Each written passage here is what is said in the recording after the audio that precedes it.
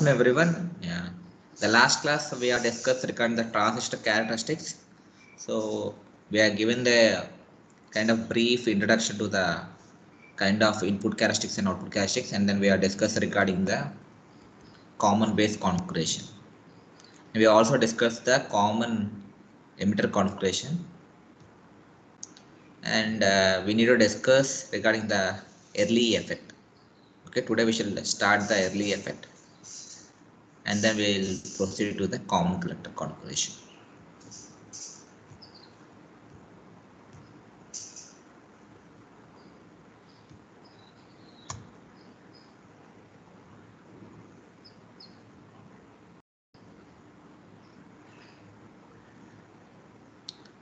So early effect is named after the scientist called uh, James M. Early.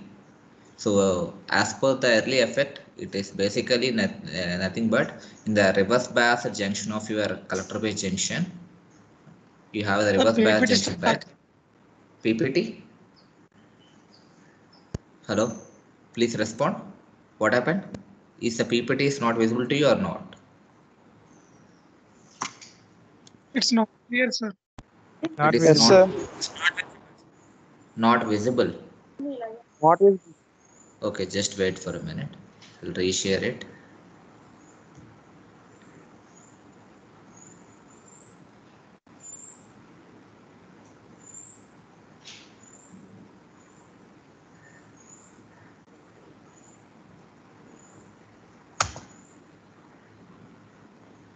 Yes, sir. Now it's okay.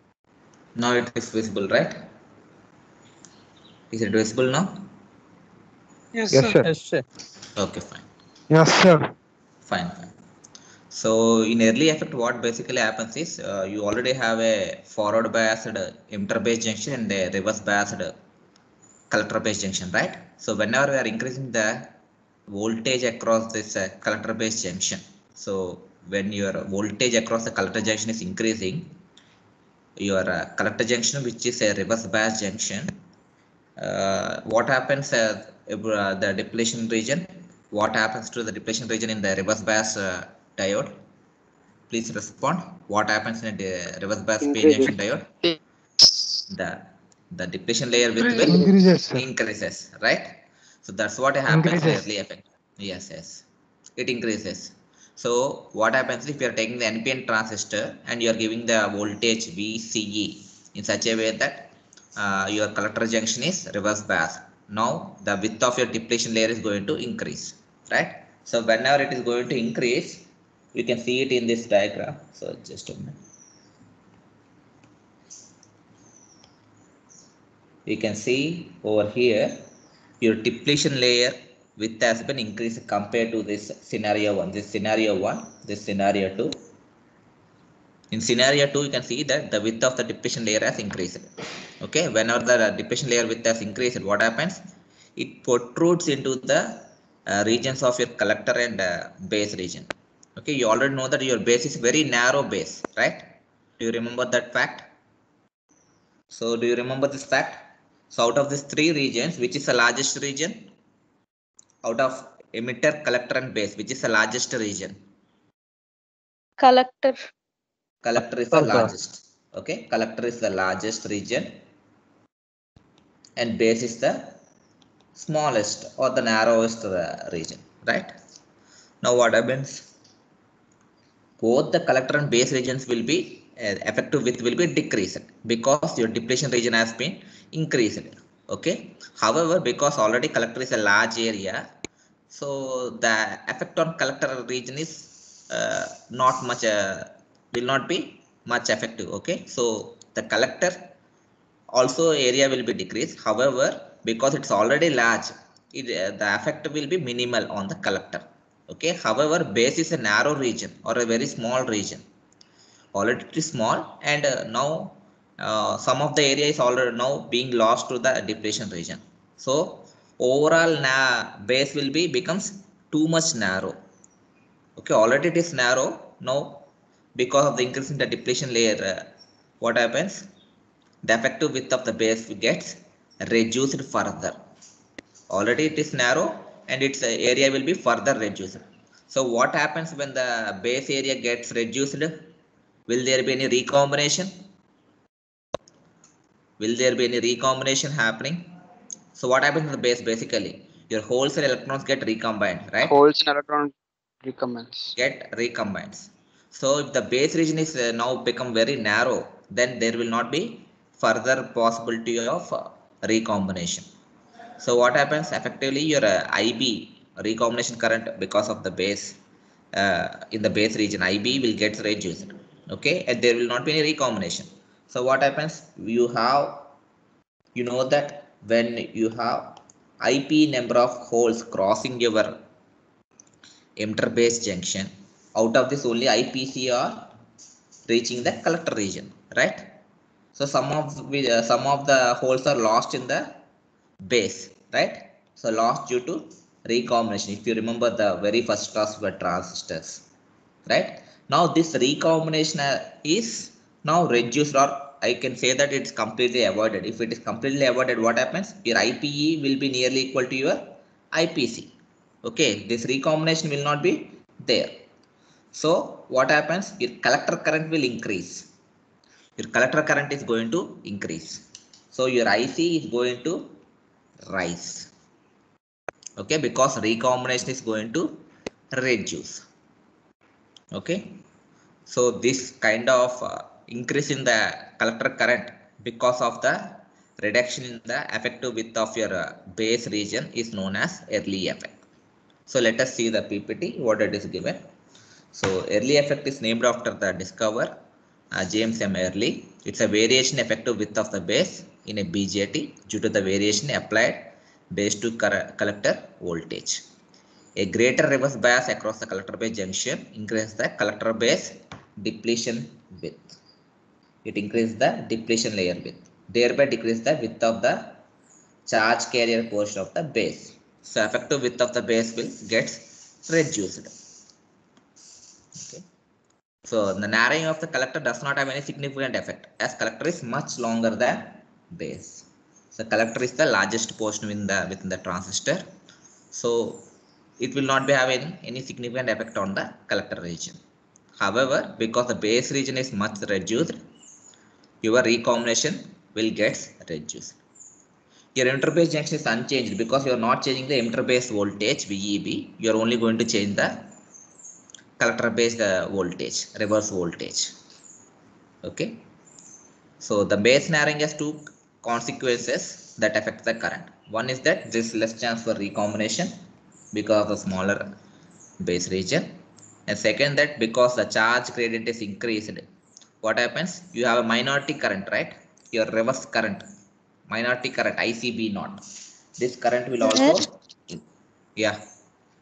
Please, uh, PPT is not visible, sir. is it not visible for everyone or only for you? Please respond others. They also not, Not visible. visible. Visible, sir, it is. visible, sir. clearly visible. It is visible. I think you have some kind of a network issue from your side because from my side it is uh, uh, clearly shared. So the screen's Uh, visible, but uh, the screen's freezed, sir. Screen is freezed. Yes, sir. Okay. Okay, no problem. I'll reshare it again.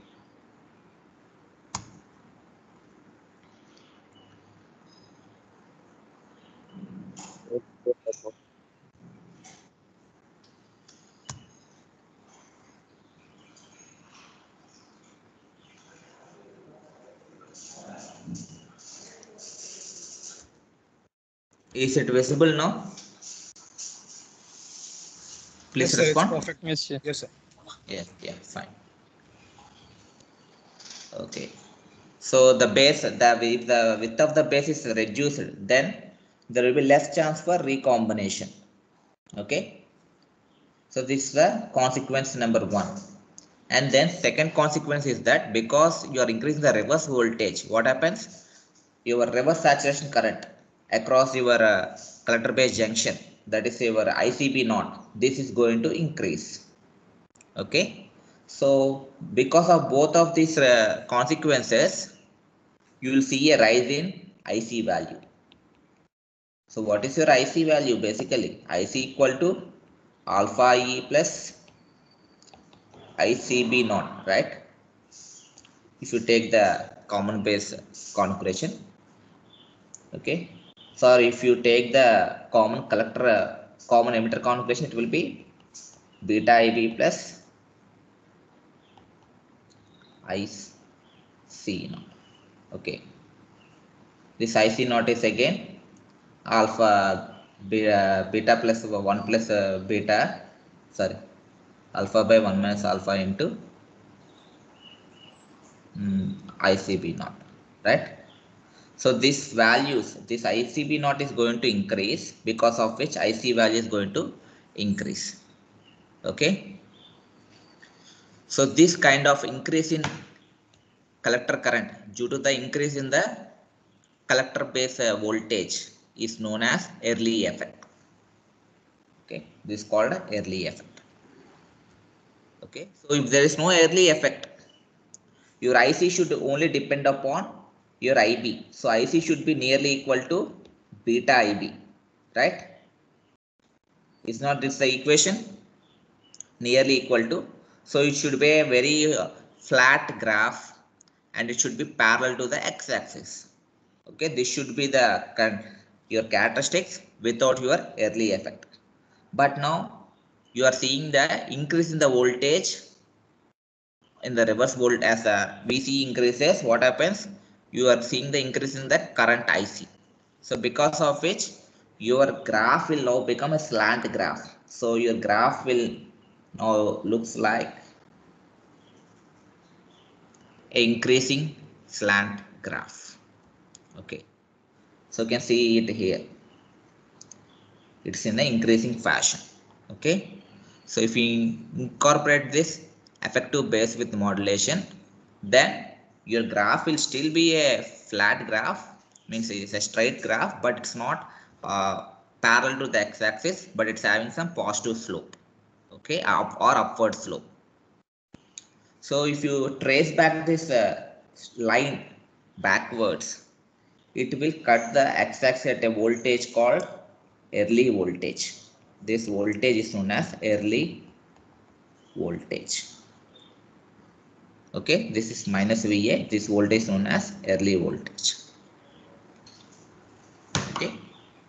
So because of this early effect only, your transistor uh, output characteristics will not be a horizontally flat graph, but it will be a having some upward slope.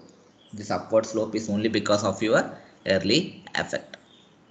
Okay, so early effect is more uh, seen in the common emitter configuration. Of course, it will be there in every other configuration, but it will be more seen in the it will be more seen in the emitter configuration. Okay.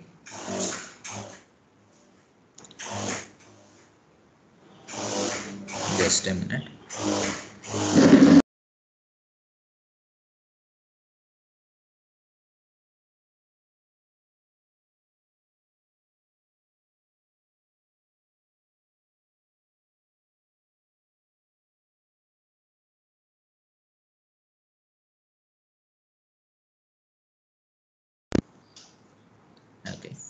So next is our common collector configuration. So in common collector configuration, which terminal is common to both input and output ports? collector terminal. Yeah, Collector. collect collector terminal, right? So your collector terminal is common to both input and output ports. This is your input circuit. This is your output circuit. Your collector terminal is common to your collector terminal is common to both input and output ports. Okay. And then what is your input current here? What is your input current? IB sir. IB is your input current. What is your input voltage? What is your input VBC. voltage? V BC. VBC. VBC. Okay, this is not uh, a VCB. So input voltage is VBC. VBC. Okay, so your graph should be between VBC versus IB. Okay, for a constant, your graph should be for a constant output voltage. So what is your output voltage? What is your output voltage? EC. VCC. VCE. V sorry VEC. VEC. VC. VEC is your output voltage across your emitter and collector. Okay. Output voltage across your emitter and collector terminal. So it is VEC. What is your output cu- current? What IE. is your output current? I. Okay. So here again we are considering which type of transistor is this? PN pure and PN. You have to always look for the arrow mark. So arrow mark is from the base towards the emitter. NPN. Right. So base is P, emitter is N. So it's an NPN transistor. We are using the NPN transistor in common collector configuration. Okay. So your output voltage is VEC. So your graph you are drawing for a constant VEC value. Okay. Similarly, if you draw check for the output characteristics, it's a graph between your output current IE versus output voltage VEC for a constant input current. Input current is IV. Okay, this is how you're you're going to draw the output characteristics. So let us check the characteristics. Okay, so input characteristics between your so VBC versus IB. Okay, it see it's not VCB, it should be between VBC, but your VBC will be a positive value or a negative value. Your VBC, Negative value. VBC will be a negative value. So your base collector junction is a reverse bias junction, right? So you have a N-type NPN transistor, base is P-type, collector is N-type. So you will be connecting positive voltage across collector and negative voltage across your base. So your VBC will be a negative voltage. Okay. So in order to write the post in positive terms, he has taken VCB, but it should be VBC and you should get the graph in uh, negative voltages. Okay. So do not worry about it. Only we are writing instead of you can instead of writing VCB, you may write VBC also. But you will get the x-axis in the negative terms. You may be getting minus 1, minus 2, minus 3, minus 4. Okay, if you are writing VBC. Because he has taken VCB, it's getting the positive values. Okay. And then your input current is IB. IB, you know that it will be in microamperes. Okay. So this graph is for a particular output voltage VEC. Again, VEC will be a negative voltage. That's why it's taking VCE as positive voltage. Setting for VCE is equal to 2 volts. It's a positive value. But for NPN transistor, you know that output voltage should be your VEC and VEC should be a negative value.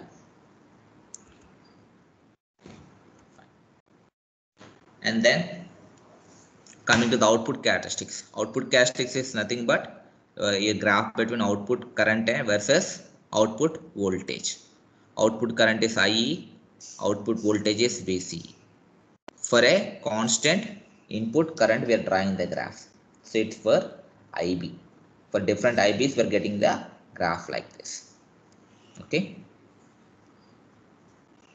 That's it. So your output caches are very similar to that of a amplifier. Okay. So now, if you compare the three configurations, we have a, what are the three configurations we have? We have a common base configuration. We have a common collector configuration and then common emitter configuration. Okay. So this is the first configuration that we have discussed. Next we have discussed the common emitter configuration. Next we have discussed the common collector configuration. So if you check the voltage gain, so what is voltage gain? So voltage gain is nothing but delta V naught by delta Vi. Change in output voltage to the change in input voltage. This this change will be high in the common base configuration and low in the common collector configurations. And for common emitter configuration, it is in between common base and common collector values. Coming to the current gain, that is delta I naught by delta II. It is low for common base configuration. It is high for common collector configuration. whereas for common emitter it is medium okay so for common emitter it is greater than 1 gain is greater than 1 here it is less than 1 low means less than 1 okay? High means greater than greater than 1 likewise you should take. Okay? So out of these three configurations if you check the gains for voltage gain current gain and power gain if you check the three different characteristics of common configurations common base common collector and common emitter. Which one has all greater than one values? Please Common respond. emitter. common emitter right? So common emitter has both voltage gain greater than 1 current gain greater than 1 and your power gain greater than greater than 1 so your common emitter is mostly used as your amplifier so most commonly used configuration for amplifier application is your common emitter. Okay? Whereas common collector will be used for impedance matching.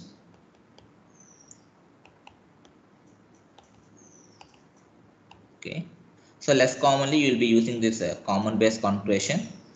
Uh, when you, you as amplifier you can also use common base configuration also for uh, amplification. But it is not commonly used.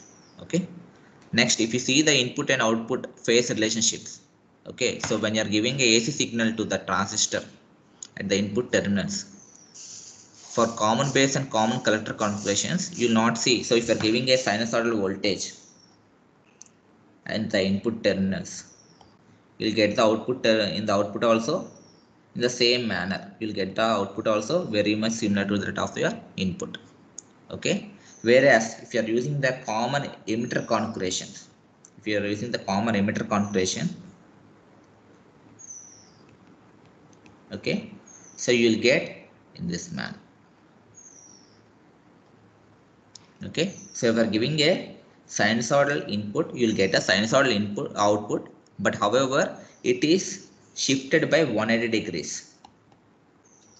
You'll get a 180 degrees phase shift okay so whenever you're using the common emitter configuration you should note this point that common emitter configuration will invert your voltage signal or your current signal. Okay you'll be able to see that 180 degrees phase shift. Okay so whenever you are giving so for the positive half cycle you get the negative half cycle. For the negative half cycle you get the positive half cycle. Okay and coming to the resistances for the common base it is a very low value. For common collector it is a very high value. And for the common emitter it is in between this common base and common collector values. Coming to the output resistance it is very high for common base in between for common emitter and then very low for common collector configurations. So because uh, in your uh, any kind of competitive exams only this table will be mostly useful for you. Okay that's why i kept this okay so please uh, go through this ppt whenever it is possible. So already this slide i have already explained the last class itself. So that in the active region your transistor acts like an amplifier. Okay so transistors acting as amplifier. So here i'm taking a common emitter configuration. It's npn transistor. If you check this configuration it ic is nearly equal to beta ib okay it is acting like a amplifier. If you check the cutoff region so cutoff region means both the emitter base junction and collector base junction both are in which uh, how, how they are biased whether they are forward biased or reverse biased for cutoff region. Please respond. Reverse biased. both are reverse biased right? So when both are reverse biased then there is no chance of current flowing through the transistor. So your transistor acts more or less like a open switch. Okay so they'll not be exactly equal to zero but I can say that for practical reason I can consider the current to be equal to zero and will act like a open switch. Okay? And if you are using the transition saturation region saturation region means both the emitter base junction and collector base junctions are in forward bias. Okay? So if you are using the transistor in saturation region then your transistor acts like a closed switch okay closed which means your ic is nearly equal to your ie value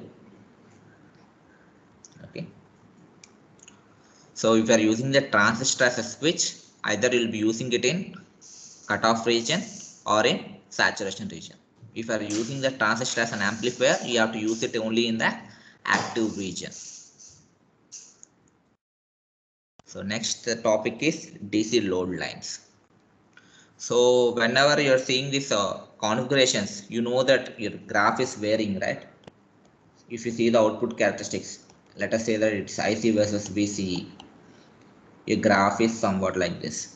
So as you are increasing, if you are changing this VCE value, your IC is going to change, but you do not know at which uh, point you need to take the values, right? For this, uh, to simplify our calculations and to do the numerical problems, uh, we have introduced a concept called DC load line. So in this, what we are going to do is, we are going to take two values on x-axis and y-axis when the transistor is acting in cutoff region and saturation region. Okay. So this is the point when your transistor acting in cutoff region. This is the point when your transistor is acting in the saturation region. And then over this, draw our characteristics, transistor characteristics. The point of intersection of your uh, transistor characteristics with the DC load line, we'll take it as the operating point. Okay. So let us check how to draw this uh, DC load line. Okay. So to draw any straight line, uh, how many points we require? Please respond. To draw any straight line, how many points we do require? Two points. Two. Two points, right? So to draw the DC load line, we require two points. So we'll take the two points. We can take the two points at any point, at any points on the graph. But however, we'll consider the easiest uh, points to be observed. So which are nothing but your cutoff uh, point and the saturation point. Okay. So if you take the transistor, I'll draw the transistor diagram.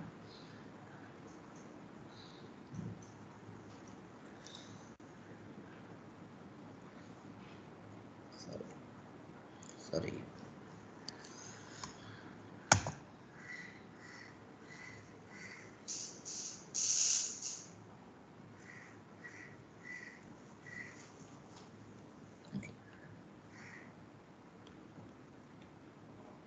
So let us consider a common emitter transistor.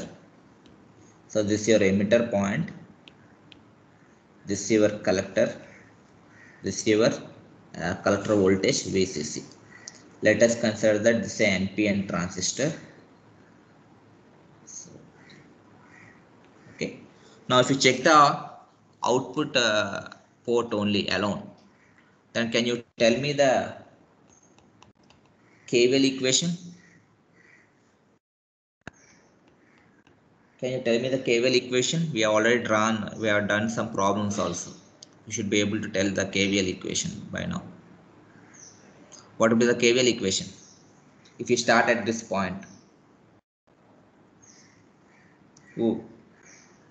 So for your convenience, if I, I can all redraw this circuit. So if it is plus VCC, there must be the negative terminal which is connected to the ground over here. Okay, can you tell the KVL now? KVL equation now? Please respond.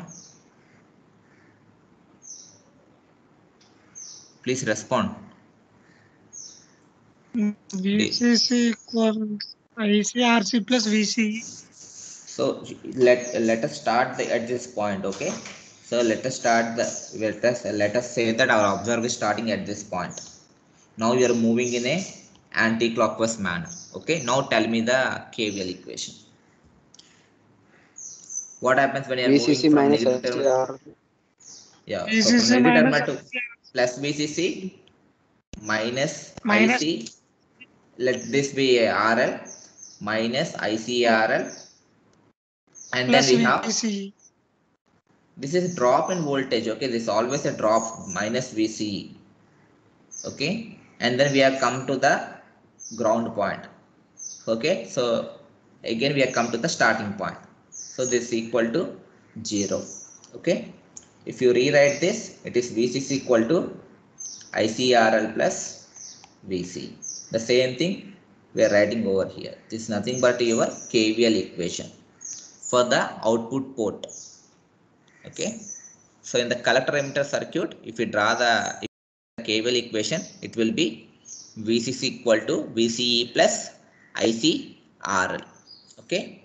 So now if you rewrite this equation to get the IC value, it will be VCC minus VCE by RL. Okay. So now we got the equation, a linear equation for IC. So it is in the format y is equal to mx plus c. Okay. So this is your IC. You, if what, what will be your y value on this output characteristics? This IC, this is VCE, right? So your x is VCE, your y is IC. Okay, y is equal to mx plus c. In this equation, your slope is a positive value or a negative value. This is your slope, right? If you replace this, what is your y? y is equal to IC, x is equal to VCE, slope m is equal to minus 1 by RL, right? Your constant y-intercept c is equal to VCC by RL, right? If we compare this with the equation y is equal to mx plus c, right?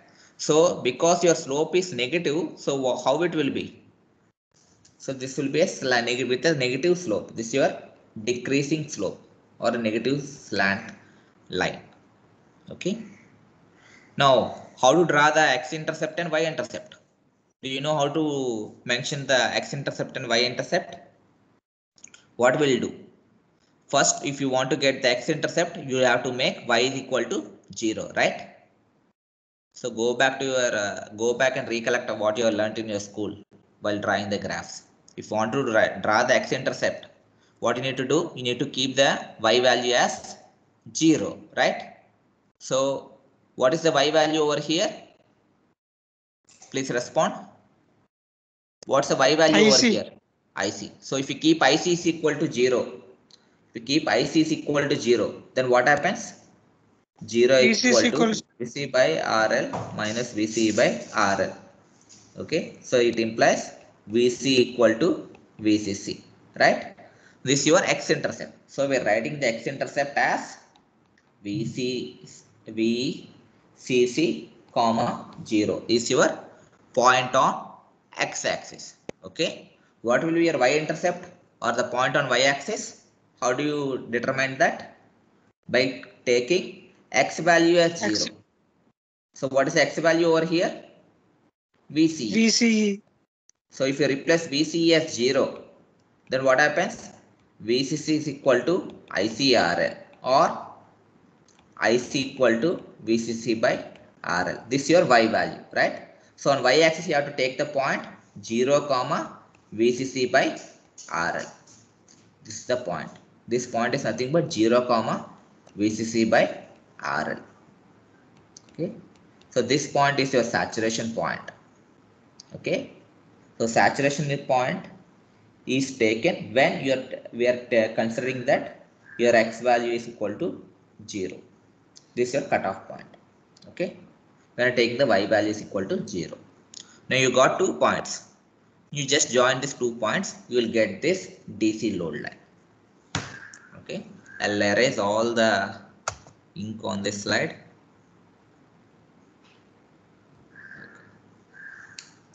So if you join these two points VCC by RL and VCC, you'll get this DC load line. Okay. So we have finally drawn the DC load line. Now if you want to get the operating point, so first we need to know what is an operating point, right? So operating point is a point when you are not giving any signal at the input port. Okay. And then simply drawing the output characteristics when these output caches are going to cut this DC load line, that point of intersection is said to be the operating point or quiescent point. It is called operating point or quiescent. Quiescent point. So quiescent means uh, a dull point So they where you not be able to see much changes or it's a silent point. The other meaning for quiescent is that it's a silent point. Okay, it means that you are not giving any kind of variations in the input terminals. Okay, will not be giving any kind of alternative signal at the input terminals. Okay, when there is no signal at the input terminals and then you are drawing the output characteristics, this output cast is going to intersect the DC load line. The point of intersection of this DC load line with the output characteristics is said to be the operating point. Okay, so this is your output characteristics line. You know that you are drawing the output characteristics between IC versus VC for a given IB value. When this line cuts the DC load line, this is your DC load line. When you cut this line at a given point, this point is said to be the operating point. Okay. So it is called operating point because variations of ICN takes place around only this point when no signal is applied. So the meaning of quiescent is that it is a silent point. Okay. So whenever you are doing the numerical point, uh, numerical problems, you might come across values like ICQ or VCEQ. You might have seen in the numerical problem that we have done earlier. This Q implies that it's the operating point or the quiescent point. Okay. That's it. With this, your transistor characteristics are over. So if you have any doubts regarding the transistor characteristics, you can ask me. So uh, the next topic is your uh, small signal uh, analysis for the transistor. So before proceeding to that, I want to confirm that you have no doubts in this topic. So let us check the syllabus. How much we have covered till now. Is my screen visible to you? Yes, sir. Yes, sir. Sir? Okay, fine. So we have covered the unit one. Okay, cluster group. So in the BJT topic, we have covered this operation of BJT, transistor current components, transistors amplifier, and CB, CC, CE characteristics. And then we are left out with small signal analysis of the transistor. So if we cover this, almost your uh, second unit is come almost uh, it will be 50% will be covered. Next we have the topics like transistor biasing. Okay. So all the four circuits can be covered, four or five circuits can be covered within uh, one or two, uh, within two hours, two classes it will be covered. Okay. So till now, whether it is the unit one or unit two, if you have any doubts, you can ask me now. You still have some 15 minutes of time. Yes. Okay. So if you have any doubts in any of these topics, so 10 plus 4, 14 topics are there. So out of these 14 topics, if you have any doubts, you can ask me. Because in an examination, questions will come from at least two questions, two or three questions will be framed from each topic. Okay. So do not never go for the syllabus directly. If you want to prepare for any examination, uh, at least for our semester examination, should go through this table. From each topic, you'll get at least two or three questions. Okay. If you have any doubts regarding any of these 14 topics that we have covered till now, you can ask me.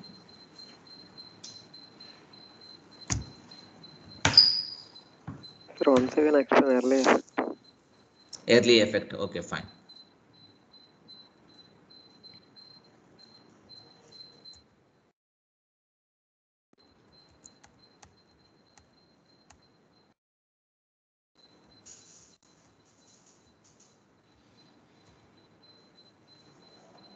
So this is your normal transistor. You are given a voltage VCE. Okay, VCE such that your base collector junction is reverse bias, right? So this your base emitter junction is this region is forward bias. This region is reverse bias. Okay. So when you are increasing this reverse voltage, if you are increasing this VCE value now, then what happens? Your collector base junction will be more pronouncedly reverse biased. So you know that in a diode, in reverse bias, what happens? In reverse bias, your depletion region width is going to increase. You already have written the quiz also, right? In depletion region width is going to increase. So, so if you take the this N, PN region, right? So P region, this N region. So earlier, if this is the depletion layer width, now it becomes okay. If you are increasing the reverse bias voltage, more and more of the P and N regions will be covered by the depletion layer itself. Okay, so what happens? Your effective P region and effective N region are now decreasing, isn't it? Are they decreasing or not? Yes, sir. Right? So out of this P and N regions, both are reducing, but however, this P region is nothing but your base. This N region is nothing but your collector. Okay. So now I'll take an example. Let us say that uh, there are two people with uh, two different amount of uh, money within their hand. So one guy is having only 10 rupees in, in his hand. Other guy is having 100 rupees in his hand. Now let us say that I'm taking away uh, 5 rupees from each of their hands. Okay. So what will be the amount of money reduced, percentage reduction in the money reduced for the person one with the 10 rupees? And what will be the percentage of uh, amount reduced for the person with 100 rupees? What happens? For, person one, 50% and person two, nine, 5%. 5%, right? So although we are taking away the same amount of money from both the persons, the effective reduction will be more pronounced in the person one, right? Similarly over here, already base is, the area is very small. It's a very narrow base. Already it is very small and we are again increasing the depletion layer width because of which a base will become much narrow than earlier. Okay. Whereas collector region is the largest region in the among the transistor re regions. Okay. So even if you are uh, removing some amount of, if you are uh, losing some amount of area due to the depletion layer, increasing the depletion layer width, it is not going to have much effect on the collector uh, area. Overall uh, change in collector area is not not much. Okay. Whereas uh, comparatively, the base will be more occupied by the depletion layer. Okay. So because of which what happens? So there will not be any chance of recombination. Okay? Recombination uh, of holes with the electrons within the base gets reduced. Because in the npn region you have what happens? This is a p-type base right? So number of holes are very less in number because base is occupied by the depletion region. So electrons will not be able to recombine with the holes in the base region. So what happens? Whatever the electrons that are sent that you are sending from the emitter towards the base so all these electrons will be able to reach the collector. Okay. So more number of electrons from the emitter will be able to reach the collector. Okay. And one more thing that happens is because you are increasing the reverse voltage, what happens? If you further increase the reverse voltage, what happens? Your reverse current will also going to increase. What is your reverse current? It is a reverse leakage current ICB naught. Okay? This is not due to the majority carriers this is due to the minority carriers because in reverse bias only minority carrier current will be there. This icb naught is nothing but the reverse current between the collector and base regions. This current is also going to increase. Because of which these two regions your overall ic value is going to increase. Okay so if there is no early effect if there is no early effect your IC should be equivalent to beta IB. So, and this graph should be parallel to the x-axis. Okay. This should be a flat graph parallel to the x-axis. But because we have a early effect, so I can say that for the parallel graph, your IC is almost independent of VC. So IC is more dependent on, IC is more dependent on IB than on VC. okay? So i can say that if it's a flat graph i can say that ic is independent of independent of VC because whether a vce is a small value or a large value your ic is almost the same for a flat graph. Right? But now because of the early effect what happens? Your graph now becomes a slant graph okay with a positive or upward slope. Now if you are increasing the vce this vce1 this is vce2 this ic1 this ic2 you can see that if your vc is increasing if your vc is increasing it implies that ic is also increasing okay. So a graph becomes a slant graph if you take the if you extend this graph backwards it will this line will touch the x-axis at a voltage called early voltage. Okay? This point is denoted as va. Va means a early voltage. Okay? So if there is no early effect what happens? The graph will be a flat graph parallel to your x-axis and your ic will be almost independent of your vce however because of the early voltage your ic will now depend upon vce value. And it is more pronounced in the common emitter configuration and it can be seen in all other configurations also. Okay. Any other doubts? Is your doubt cleared? Yes, sir. fine. Any other doubts you can ask me? So not only this topic any other topic till now whatever it is uh, covered. Because luckily we have all the 100 people. Because even if i am conducting on sundays very few people are turning up. So others who have any doubts you can ask me in this session. If required we'll take some 5 or 10 minutes extra also to clear the doubts any of the topics you can ask me.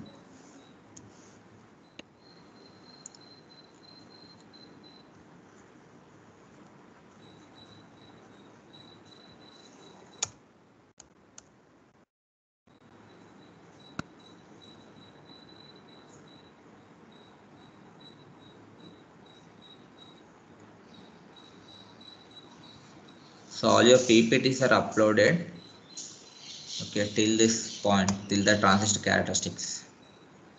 You can directly view this ppt from the canvas itself.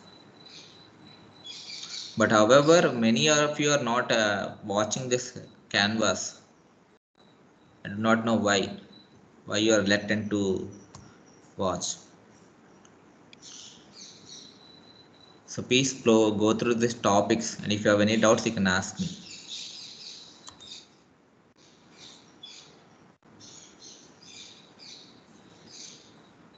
any of these topics any of the 14 topics that i have covered till now or if you feel that if i left any uh, topic among these 14 topics you can you can ask me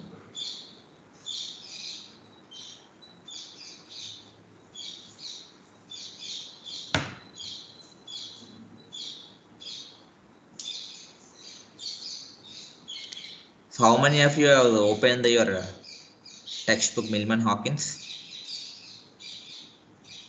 Have you opened your uh, Millman Halkias textbook? Please respond. Did you open your Millman Halkias textbook?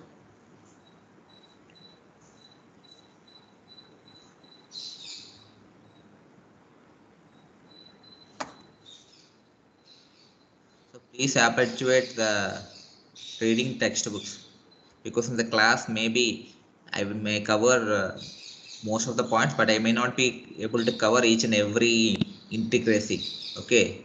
So if you want to read in depth always prefer textbook. That to standard textbook. Do not go for any local or other textbooks. Okay. So for the transistor topic you can either go for this Millman Halkias textbook or uh, you can go for Sanjeev Gupta textbook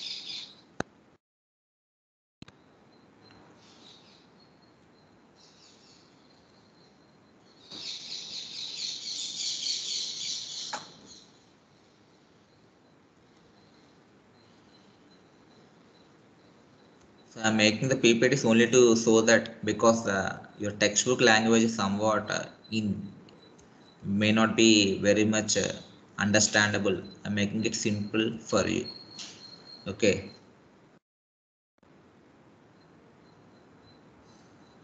So you may not be able to see all these equations in your PPT. These are not required from your exam point of view also. But you, if you want to have a inner understanding for a deeper understanding, you need to go through these equations.